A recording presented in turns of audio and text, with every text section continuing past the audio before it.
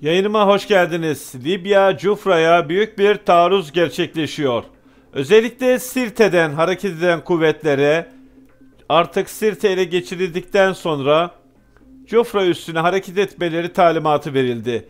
İş sıkı tutuluyor. Çünkü Cufra üstünden ve Sirte'den Hafter kuvvetleri topukluyor. Açıkçası topukluyor. Önemli bir olumsuzluk yaşamadık şimdiye kadar değerli izleyenler. Çünkü büyük bir kuvvetle yükleniyor UMH güçleri. Değerli izleyenler, Sirte'den sonra biliyorsunuz şu anda yönelilecek yer Cufra üssüydü. Sirte'de yer yer çatışmalar oluyor. Bu çatışmalara karşı tabii ki Hafter güçlerine karşı gerekli tedbirler alınıyor. Rus Wagnerlerin de oradan çekildiğine dair kuvvetli haberler gelmekte. Rusya'nın ne yapacağını bilemiyoruz ama şu anda F-16'lar teyakkuzda beklemekte. Teyakkuzda bekliyorlar çünkü herhangi bir olumsuz ani bir harekete karşı teyakkuzda olmak şart. İdlib'den deneyimli birliklerimiz. İşte Sirte komutanının taarruz emri tıkır tıkır işliyor. Demem odur ki Cufra üstünde alınması an meselesi. Bayraktarlar ABAX uçaklarından aldıkları koordinatlara göre nokta atışı yapmaktalar.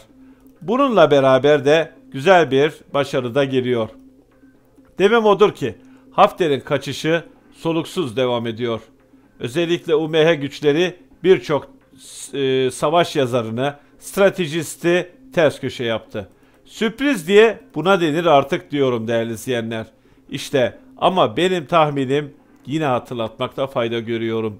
Özellikle Trablus Havalimanı'na giriş görüntüleri burada. Demiştim ki Trablus Havalimanı düşerse Hafter'in batıdaki kuvvetleri düşer ve bir kaçış başlar. Yayınlarımı izleyenler bana hak vereceklerdir.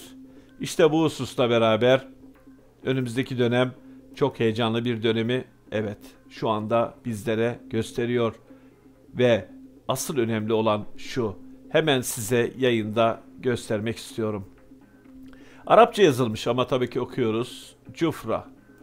Bakın Cufra ee, üssü burada şu anda Rusların tahliye ettiği ve Hafter'in ana birliklerin tahliye ettiği yönde haberler var.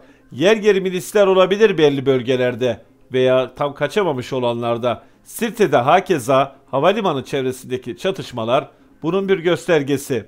Ama Cufra şu anda ele geçecek inşallah. Oranın ele geçmesi ne demek biliyor musunuz?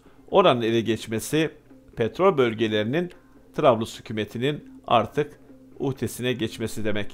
Yani haklar olana kavuşmaları demek. İşte gel gelişme çok hızlı. Cufra'da olan biteni sizlere aktarmaya devam edeceğim. Lütfen yayınımdan ayrılmayın. Görüşmek üzere.